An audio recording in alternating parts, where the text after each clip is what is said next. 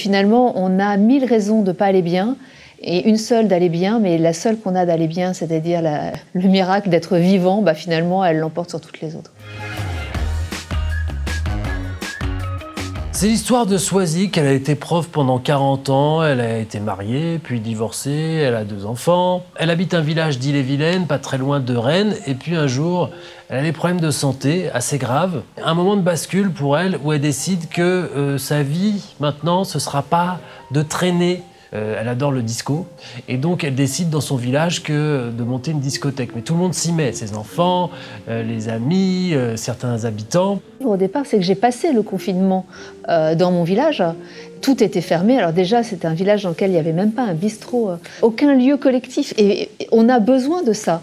Et finalement, ce fantasme, parce qu'on écrit nos fantasmes, hein, on écrit ce dont on rêve, et, ce, fantasme de vie collective, euh, à mon avis, répond à un besoin très fondamental qu'ont les gens, mais aussi bien dans les villes que dans les campagnes, d'avoir des projets en commun, de, de sociabiliser, de, de, créer du lien. Pour moi, c'est essentiel. Et en tous les cas, je pense que ça va faire partie des choses dont j'aurai le plus envie euh, désormais, c'est d'être le plus possible en lien avec d'autres.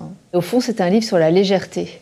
Et la question que je me posais, c'était comment devenir suffisamment léger pour pouvoir affronter les obstacles de la vie. Je pense que j'ai pas eu une enfance particulièrement légère. Euh, et puis ensuite, j'ai eu une jeunesse dont l'inspiration était plutôt, on va dire, romantique. Je faisais de la musique, donc euh, Chopin, Schubert, euh, voilà, avec ce côté esthétique du spleen, esthétique de la nostalgie du 19e siècle, etc. Donc, c'était pas acquis en fait que j'abandonne toutes ces choses qui finalement étaient un peu constitutives d'une esthétique pour arriver vers quelque chose de complètement différent. J'ai écrit ce livre aussi pour arriver à trouver une forme de joie. Quand j'ai terminé le livre, je me suis dit, hum, je ne suis pas convaincue que ça ait franchement marché, mais ça fait six mois maintenant que je sillonne un peu la France, que j'en discute avec les lecteurs, que j'en parle.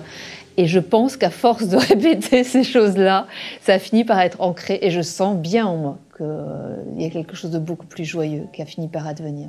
Voilà, c'est un appel à la légèreté, à la joie, disons. C'est un roman qui ne se prend pas au sérieux, c'est une ode à l'insouciance et c'est un roman qui dit que tout est possible.